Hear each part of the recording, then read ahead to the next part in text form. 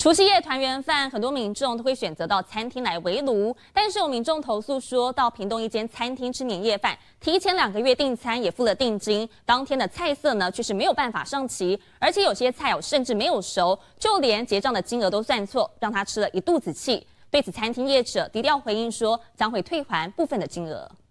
整间餐厅都是出菜很慢，不然就是没有出，要不然就是菜里面有异物，一肚子火，超级火，不是一肚子火而已。越说越气，好端端的年夜饭竟被餐厅搞砸了，蔡先生既无奈又生气。米糕是没有熟的米糕，然后上面写的是樱花虾米糕，樱上面连一只樱花虾也都没有。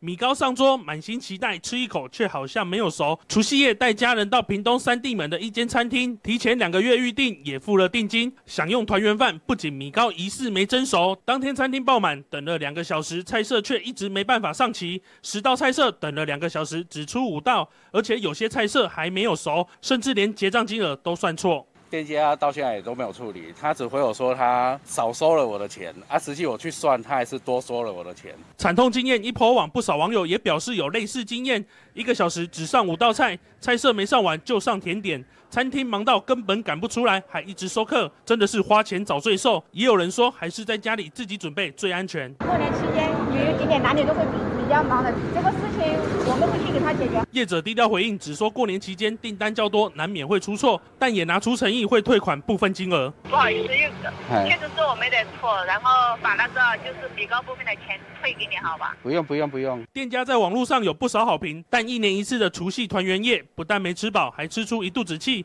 即便餐厅评价再好，在消费者心中恐怕已经大打折扣。记者综合报道。